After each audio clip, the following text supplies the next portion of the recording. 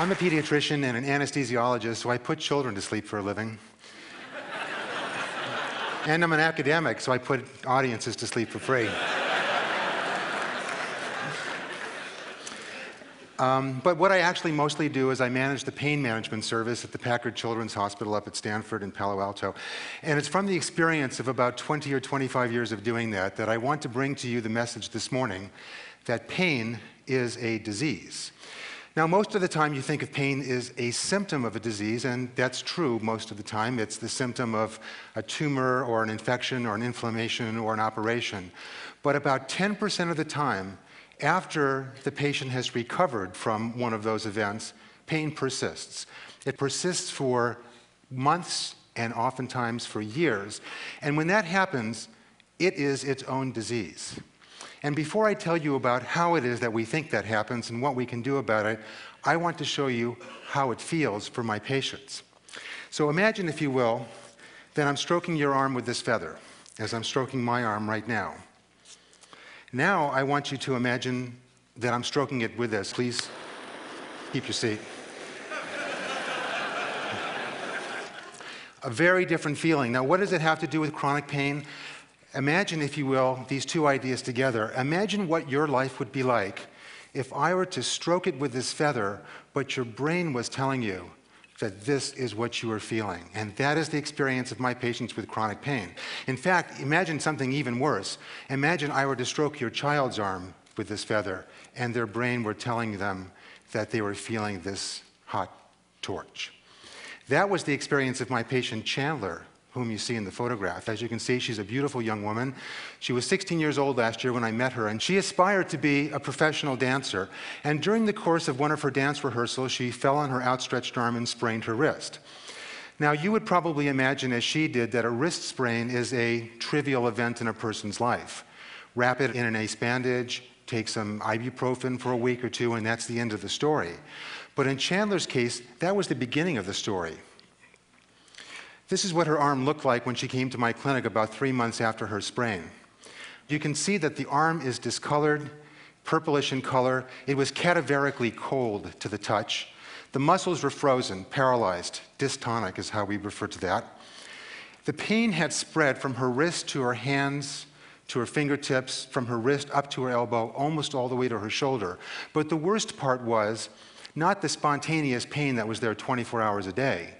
The worst part was that she had allodynia, the medical term for the phenomenon that I just illustrated with the feather and with the torch.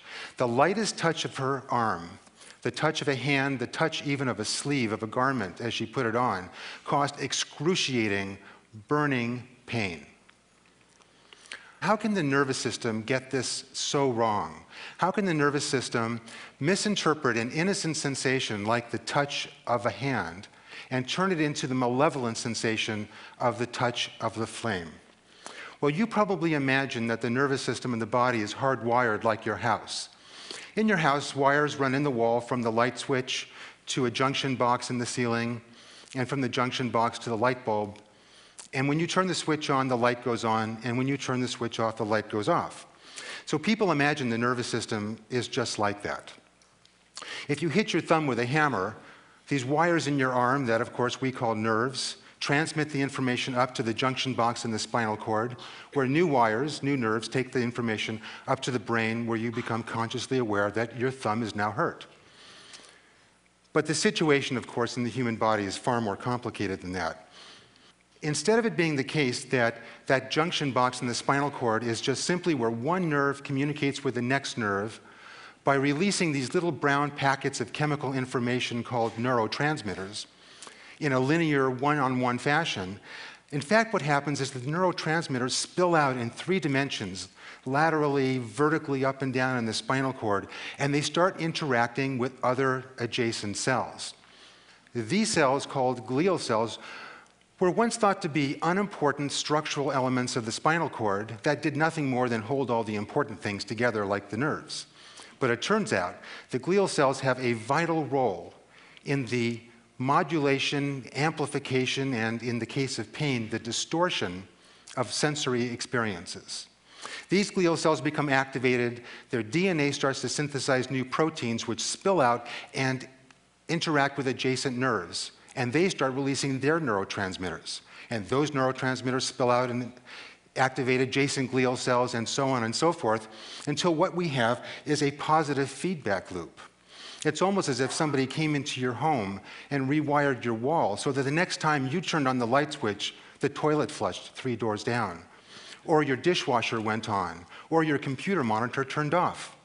That's crazy, but that's in fact what happens with chronic pain, and that's why pain becomes its own disease.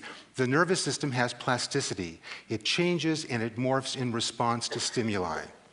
Well, what do we do about that? What can we do in a case like Chandler's?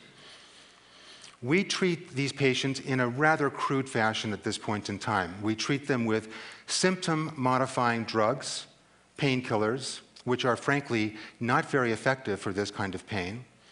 We take nerves that are noisy and active, that should be quiet, and we put them to sleep with local anesthetics.